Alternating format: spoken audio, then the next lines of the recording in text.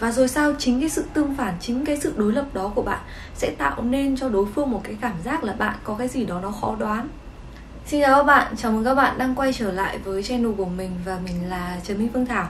Ngày hôm nay thì mình sẽ quay trở lại với một video để nói với các bạn rằng là nếu như mà các bạn đang muốn gây sự chú ý với crush ấy thì các bạn đừng có mà kiểu chăm chăm theo đuổi họ mà hãy làm những điều mình sắp sửa nói ở bên dưới video này gần đây ấy, thì mình nhận được một câu hỏi mà mình nghĩ rằng là cũng khá là nhiều bạn sẽ gặp phải cái vấn đề này.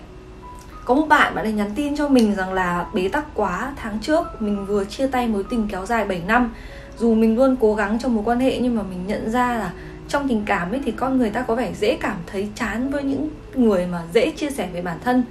Mình lại là người không hay lấp lửng mập mờ trong tình cảm mình muốn một mối quan hệ mà hai người có thể thẳng thắn với nhau và mình thích những cuộc nói chuyện chân thành và rất là deep. Và vì thế mình rất hay bị cho vào friend zone và bạn ấy không biết phải làm thế nào. Và câu hỏi của bạn đấy đặt ra rằng là liệu rằng là bạn đấy nên tiếp tục thẳng thắn như vậy như cái con người của bạn đấy hay là bạn đấy sẽ phải thay đổi? Mình thấy cái câu hỏi này nó rất là dễ đúng trọng tâm ấy. Vì sao rất nhiều người sẽ đột nhiên bị bơ sau cái buổi hẹn đầu tiên? Bạn biết đấy mỗi chúng ta ấy thì sẽ có một cái nó gọi là điểm mạnh để mà thu hút người khác đi. Đặc biệt nhá ví dụ trong cái trường hợp bên trên ấy thì bạn nữ lại là một người rất là giỏi chia sẻ này. Thì đồng nghĩa với việc bạn ấy giỏi trong việc hiểu người khác và khiến người khác hiểu được bạn ấy. Thì có một vấn đề là khi chúng ta có cái sức hút đấy ấy, thì chúng ta sẽ dễ bị phụ thuộc vào nó. Và đôi khi thì chúng ta sẽ bị hơi quá kiểu ví dụ nhá, bạn biết rằng là đối thương, đối phương thích bạn vui tính ấy, nên là cứ mỗi lần gặp họ thì bạn sẽ lại nói những cái câu đùa để khiến cho họ cười. Nhưng mà bạn cần phải hiểu một điều rằng là để một người mà thấy bạn thực sự khó cưỡng ấy, nghĩa là bạn phải thể hiện ra được với họ nhiều mặt khác nhau của bạn. Như cái câu hỏi mà bạn nữ kia bạn ấy đặt ra ở đầu video á, bạn ấy bạn ấy thì bạn ấy giỏi trong cái việc giao tiếp, nhưng mà nó không đồng nghĩa với việc đấy là sức hút của bạn ấy giỏi giao tiếp ấy thì có nghĩa là hai bạn sẽ rất là thấu hiểu nhau thôi.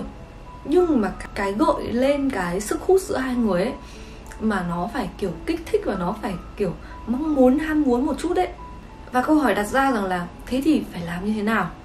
Có một quy tắc mà mình nhắc đến rất là nhiều lần rồi và mình muốn các bạn hãy cực kỳ nhớ cái điều này, đó là đối lập ấy thì sẽ tạo nên sức hút. Ví dụ nhé bạn là một người nói chuyện thông minh này và thanh niên nghiêm túc đi. Nhưng nếu như bạn có thể chuyển sang một cái chế độ khác, ví dụ như đôi khi thì bạn sẽ nghịch nghịch rồi bạn sẽ trêu đùa người khác, đột nhiên lúc này bạn sẽ tạo nên một cái sự tương phản ở chính bạn luôn ấy. Và rồi sao? Chính cái sự tương phản, chính cái sự đối lập đó của bạn sẽ tạo nên cho đối phương một cái cảm giác là bạn có cái gì đó nó khó đoán và sẽ khiến họ kích thích cái sự hứng thú hơn với bạn. Ví dụ nhá, ngày xưa thì mình với crush của mình đi chơi với nhau thì crush của mình là một kiểu người như kiểu học sinh nghiêm túc gương mẫu ấy bạn ấy học rất là giỏi và bạn ấy cũng kiểu khá là ít nói thôi. Và đương nhiên bạn ấy cũng cực kỳ cực kỳ ít khi nói đùa hay là thể hiện tình cảm. Và rồi có một lần bọn mình đi uống cà phê kiểu uống cái cà phê latte ấy, thì nó sẽ có cái kiểu là người ta sẽ để một cốc sữa và một cái cốc cà phê riêng rồi tùy cái lượng uh, mình muốn uống như thế nào thì mình sẽ đổ cà phê vào sữa ấy và lúc đấy hai cái ly, kiểu một ly cà phê, một ly sữa, xong kiểu mình sẽ không biết là sẽ đổ cái nào vào cái nào ấy. Thế xong mình hỏi crush của mình, xong rồi bạn ấy trả lời một câu rất kiểu, hay cậu đổ tớ đi. Đấy, kiểu, mình không thể nghĩ ra được rằng là crush của mình có thể nói ra cái câu như thế. Một cái câu mà nó rất là đối lập với những cái gì bạn ấy thể hiện trước đây ấy. Và đương nhiên nó sẽ cực kỳ cực kỳ gây ấn tượng với mình rồi. Hoặc một cái ví dụ khác, ví dụ như một bạn nữ, bạn ấy tính cách khá là hiền dịu này ờ, nhìn rất là bánh bèo này. Đột nhiên bạn hỏi họ là ờ thế anh có biết chơi game không? Họ bảo có. Thế xong bạn bảo rằng là ờ nhưng mà thôi trông không chơi với anh đâu chơi với anh em lại phải gánh. Đấy cái khoảnh khắc mà bạn trêu họ ấy, chỉ là đùa vui thôi nhá. Nhưng mà nó thể hiện một cái mặt khác ở bạn mà bình thường bạn ít khi thể hiện cái mặt đấy ra. Đương nhiên thì bạn không muốn lúc nào cũng phải như thế bởi vì nó khá là nhàm ấy và ở suốt ngày phải nghĩ ra như thế thì nó cũng rất là mệt mỏi nhưng mà sao? Thỉnh thoảng bạn điểm suýt một chút như thế thôi. Thì bạn biết sao không? Nó sẽ cực kỳ cực kỳ là hiệu quả luôn. Mình sẽ tạm gọi cái này là cặp tính cách đối lập đi. Khi mà bạn có một cái cặp tính nết ấy, mà bạn thấy nó không thường xuyên xuất hiện ở một người bạn có thể là một học sinh rất là chăm ngoan rất là gương mẫu ở lớp. Ờ thế nhưng mà thỉnh thoảng bạn cũng có một cái mỏ nó rất là hỗn. Rồi bạn có thể là một người rất là hướng nội nhưng mà thỉnh thoảng quay clip tiktok thì bạn cũng rất là kiểu bung lụa. Và rồi sao? Chính cái cặp tính cách đối lập này sẽ khiến cho crush của bạn hay là người khác thấy rằng là ở ờ, lần này bạn cũng đặc biệt phết. Và rồi họ sẽ nghĩ rằng là mình muốn tìm hiểu về con người này nhiều hơn mình muốn ở cạnh người này nhiều hơn. Và đương nhiên họ cũng sẽ cảm thấy rằng là bạn rất là khó để thay thế. Nếu như mà bạn không thể quên được một cái người yêu cũ nào trong quá khứ ấy thì mình tin rằng là người đấy cũng sẽ có một cái cặp tính cách đối lập nào đấy mà bạn cảm thấy rất là khó đoán, bạn cảm thấy rất là khó tìm được ở một người khác như thế. Và đấy chính là cái hiệu ứng mà chúng ta muốn tạo cho crush. Đó là cái hiệu ứng là, hôm trước bạn vừa thế này, nhưng mà hôm sau thì bạn lại tạo ra những cái điều khác, một cái điều gì đấy mà nó rất là mới mẻ. Và những cái điều đối lập đấy ôi các bạn ơi, mình phải nói là nó như là tầm đớ luôn ấy. Nó cuốn, nó thực sự rất cuốn crush của mình ấy thì cũng từng kể cái lý do mà bạn ấy đổ mình. Thì, kiểu, mình thì mình cũng làm MC này, xong rồi mình cũng thi mấy cái cuộc thi Miss Hoa Khôi rồi cũng được giải này kia.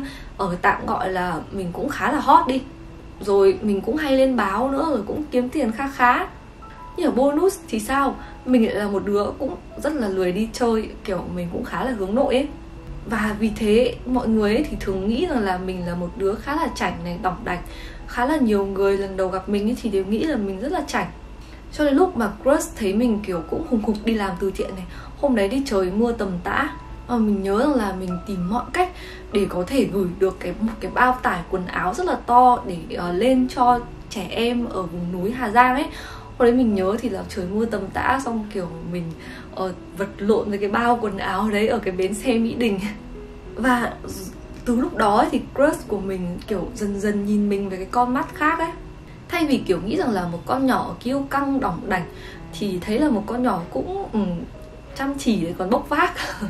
Rồi và có nhiều người nghe đến đây thì sẽ có thể cảm thấy rằng là ở cái cách này có vẻ là khó. Bạn còn phải tỏ ra là một con người khác so với bản chất của bạn nữa. Nhưng mà không phải nhá mình nghĩ rằng là mỗi con người chúng ta ấy, thì đều có rất là nhiều mặt tính cách khác nhau ví dụ bạn là một người nghiêm túc này không thích đùa nhưng mà bạn cũng thích nhìn những người yêu quý của bạn cười đúng không? Những cái mặt tính cách khác nhau của chúng ta ấy, thì nó cũng giống như những cái cơ bắp trên cơ thể chúng ta mà nó kiểu như là bạn ít khi dùng đến nó thôi chứ không phải là bạn không có nó. Bạn không cần phải thay đổi hẳn cái tính cách của bạn bạn chỉ cần để những cái mặt tính cách khác nhau của bạn thỉnh thoảng nó xuất hiện một chút. Nó như là một cái gia vị để thêm vào cuộc sống của bạn thôi ấy thi thoảng thì bạn có thể nói bậy một tí. Người ta sẽ kiểu ô bạn này cũng biết nói bậy cơ à? Rồi bạn nghiêm túc quá thỉnh thoảng bạn thả thính một câu người ta kiểu ôi bạn này cũng biết thả thính á. Nó chỉ là sâu ra cho người khác thấy rằng là ừ bạn cũng thể làm cái này bạn cũng thể có thể nói cái này chứ không hẳn là bạn là một con người như thế. Và biết sao không? Cái sự đối lập về một cái mặt tính cách trong một con người này ấy, chính là cái điều mà khiến cho họ chú ý đến bạn nhiều hơn khiến cho họ muốn hẹn gặp bạn nhiều hơn trong những lần sau. Và đương nhiên sẽ khiến cho họ muốn nói chuyện với bạn nhiều hơn đấy. Và kết luận video này thì bạn hãy thử tưởng tượng cho mình. Kiểu như nếu như những cái tính cách của bạn là một cái nhóm cơ, thì bạn hãy phân ra xem là ờ cái nhóm cơ nào là cái nhóm cơ mà bạn đang mạnh nhất. Và rồi tự hỏi rằng là, liệu thì mình có đang chỉ tập trung vào một nhóm cơ này không? Và rồi câu hỏi thứ hai rằng là, nhóm cơ nào là nhóm cơ mà bạn yếu? Và nhóm cơ nào là cái nhóm cơ mà bạn ít khi sử dụng lắm hoặc là bạn không sử dụng bao giờ? Mình muốn bạn tự trả lời câu hỏi đấy và có thể comment ở bên dưới cho mình biết nhá ok, và có một điều mình muốn nói với các bạn là nếu như mà các bạn đang cảm thấy là bạn quá là béo và không có cách nào để giảm cân, thì hãy cố gắng giảm cân đi, bởi vì giảm cân nhá, nó sẽ giúp cho các bạn đẹp lên rất là nhiều và tự tin về bản thân mình rất là nhiều luôn. Và nếu như bạn đang gặp khó khăn và không có cách nào để giảm cân ấy, có thể sử dụng thử Coffee Idol Slim nhá. Đây là một sản phẩm mình đã sử dụng giảm cân thành công và cũng có rất là nhiều bạn mình đã tư vấn và giúp các bạn giảm cân thành công rồi. Nên là nếu như mà các bạn quan tâm thì có thể nhắn tin cho mình qua insta của mình phương thảo zoe mình hứa là sẽ cố gắng rep các bạn đầy đủ và nhanh nhất có thể nhá. Ok, như vậy là video ngày hôm nay đây là hết. Cảm ơn các bạn đã theo dõi video này. Và nếu như các bạn thấy video này hay ấy Thì ờ, có thể ấn vào nút cảm ơn bên dưới góc phải video Để có thể donate và ủng hộ cho sự phát triển của kênh nhé. Còn bây giờ, xin chào và gặp lại